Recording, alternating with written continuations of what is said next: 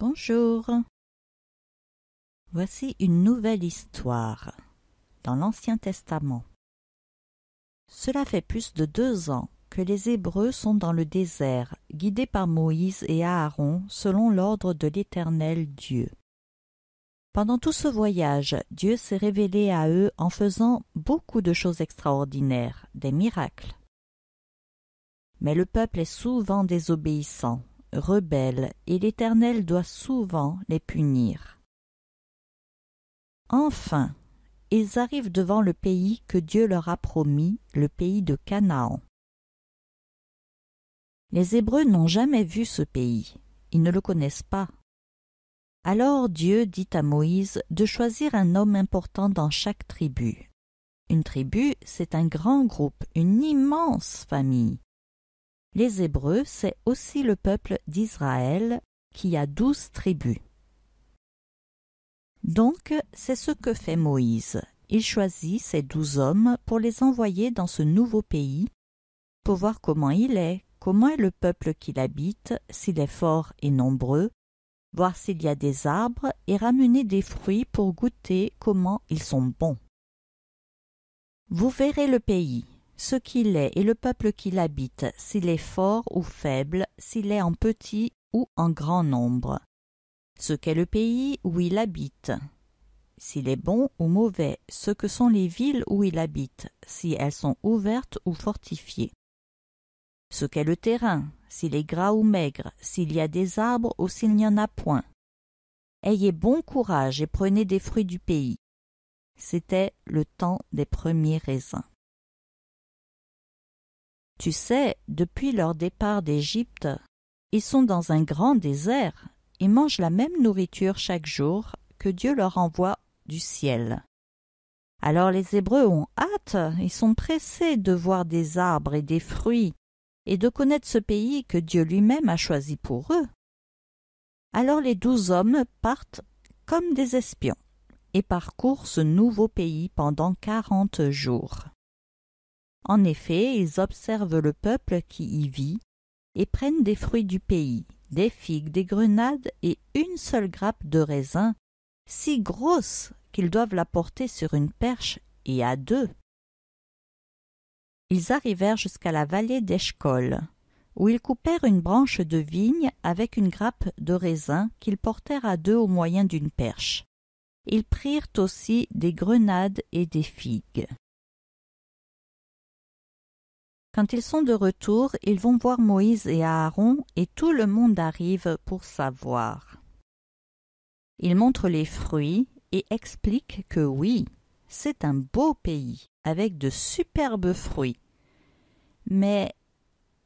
Mais.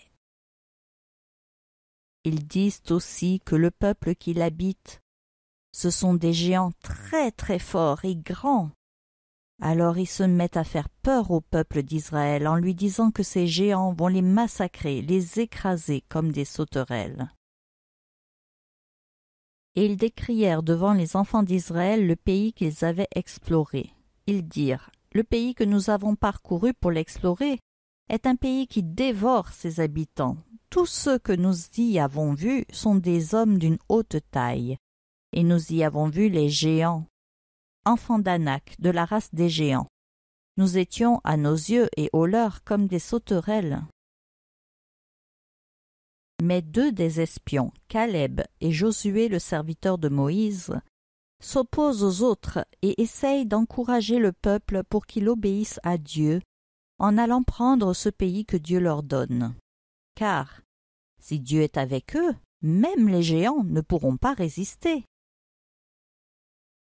Caleb fit taire le peuple qui murmurait contre Moïse. Il dit Montons, emparons-nous du pays, nous y serons vainqueurs. Le peuple d'Israël est découragé. Il pense aux géants au lieu de penser à Dieu. Ils oublient que Dieu est vraiment puissant. Ce peuple ne fait pas confiance à Dieu. Et Caleb et Josué essayent encore de les aider à croire que Dieu est plus fort. Et parmi ceux qui avaient exploré le pays, Josué, fils de Nain, et Caleb, fils de Jéphuné, déchirèrent leurs vêtements, et parlèrent ainsi à toute l'assemblée des enfants d'Israël. Le pays que nous avons parcouru pour l'explorer est un pays très bon, excellent. Si l'Éternel nous est favorable, il nous mènera dans ce pays et nous le donnera. C'est un pays où coule le lait et le miel. Seulement ne soyez point rebelles contre l'Éternel et ne craignez point les gens de ce pays, car ils nous serviront de pâture. Ils n'ont plus d'ombrage pour les couvrir. L'Éternel est avec nous, ne les craignez point. Mais le peuple veut les tuer. Voilà ce qui arrive quand on ne fait pas confiance à Dieu. On murmure, on se plaint, on se décourage, puis on se met en colère. Est-ce que ça t'est déjà arrivé? Alors pense à cette histoire et demande vite à Dieu pardon et qu'il t'aide. Mais dans notre histoire ce n'est pas ce qui arrive. Le peuple veut choisir un autre chef pour les ramener en Égypte parce qu'il préfère être esclave que de mourir. Pourtant, Dieu les a déjà délivrés des Égyptiens, alors pourquoi ne les délivrerait-il pas des géants? Et l'Éternel dit à Moïse, Jusqu'à quand ce peuple me méprisera-t-il? Jusqu'à quand ne croira-t-il pas en moi, malgré tous les prodiges que j'ai faits au milieu de lui? Je le frapperai par la peste et je le détruirai, mais je ferai de toi une nation plus grande et plus puissante que lui. Mais Moïse aime tellement son peuple, il refuse cette proposition et supplie Dieu de leur pardonner, pour que tous les autres peuples sachent que l'Éternel est juste en punissant les coupables, et qu'il est miséricordieux en pardonnant à tout ce peuple comme il l'a fait pendant tout leur voyage et Dieu accepte. Tous ceux qui ont vu ma gloire, et les prodiges que j'ai faits en Égypte et dans le désert, qui m'ont tenté déjà dix fois et qui n'ont point écouté ma voix, tous ceux-là ne verront point le pays que j'ai juré à leur père de leur donner. Tous ceux qui m'ont méprisé ne le verront point. Et parce que mon serviteur Caleb a été animé d'un autre esprit et qu'il a pleinement suivi ma voix, je le ferai entrer dans le pays où il est allé, et ses descendants le posséderont. Alors l'Éternel Dieu ordonne que le peuple reparte dans le désert. C'est sa punition. Ils ne veulent pas du bon pays qu'il leur donne Tant pis pour eux. Ils vont tous mourir au désert. Les espions ont pris quarante jours pour explorer le pays promis.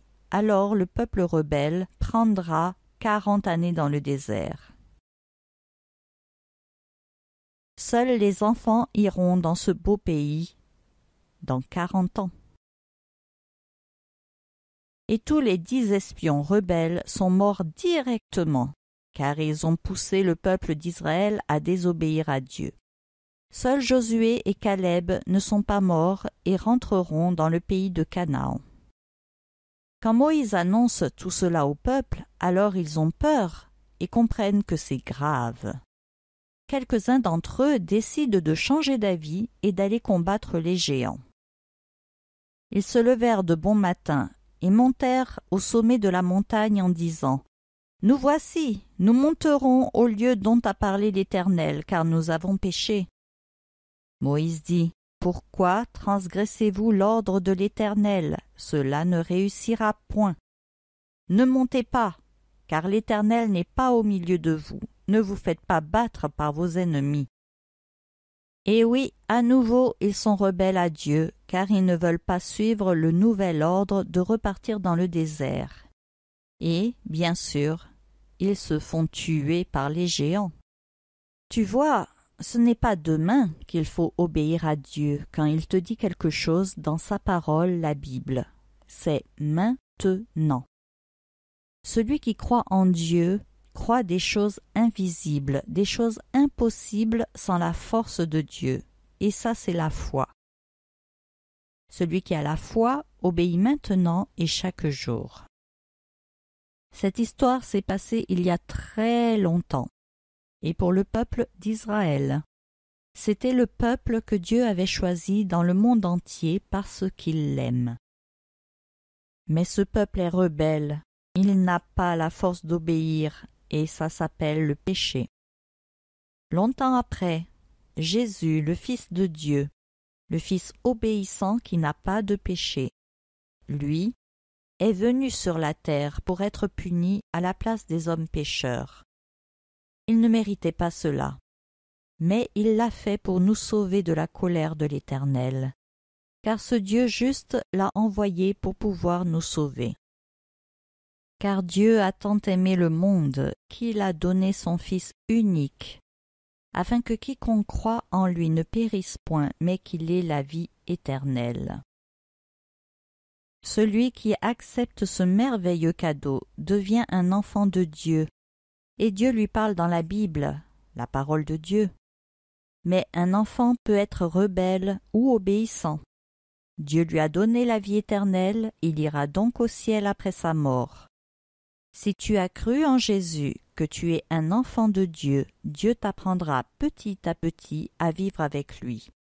Mais il arrivera des jours où, comme le peuple d'Israël, tu douteras, tu manqueras de foi. Tu ne mourras pas, comme les espions, mais tu seras puni, tu seras malheureux. Alors la Bible nous dit que, grâce à Jésus, si tu demandes pardon, tu seras pardonné et ton cœur sera dans la joie. Si nous confessons nos péchés, il est fidèle et juste pour nous les pardonner et pour nous purifier de toute iniquité. Si nous disons que nous n'avons pas péché, nous le faisons menteur, et sa parole n'est point en nous. Et toi, reconnais-tu que tu as péché? Lui as-tu demandé pardon au Seigneur Jésus? Sinon, comme nous venons de le lire, la Bible dit que tu es un menteur ou une menteuse, parce que nous avons tous péché, et nous avons tous besoin d'être sauvés par Dieu, par le sacrifice de Jésus. Crois-tu cela?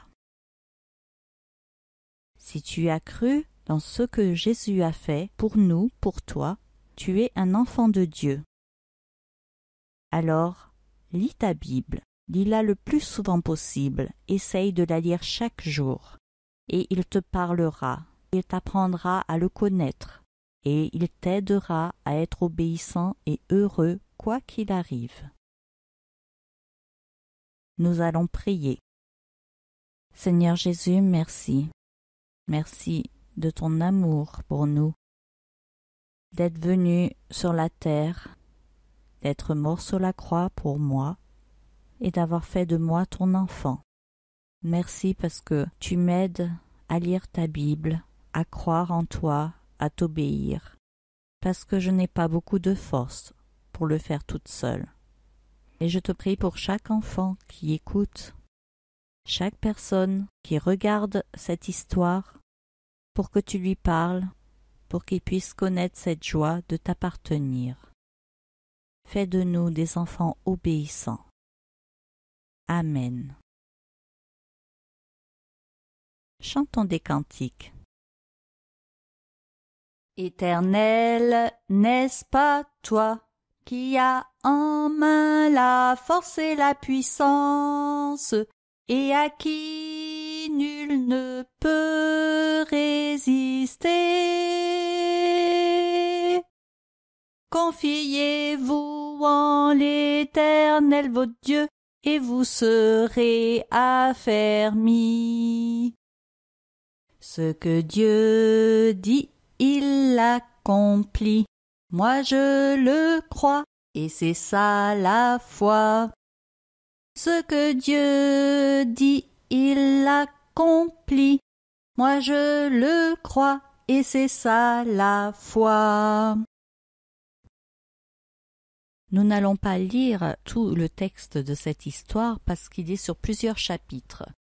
Donc nous avons lu quelques versets, mais je t'encourage à lire l'histoire tout entière, c'est dans l'Ancien Testament, dans le livre des Nombres au chapitre 13 et 14. À bientôt pour une prochaine histoire.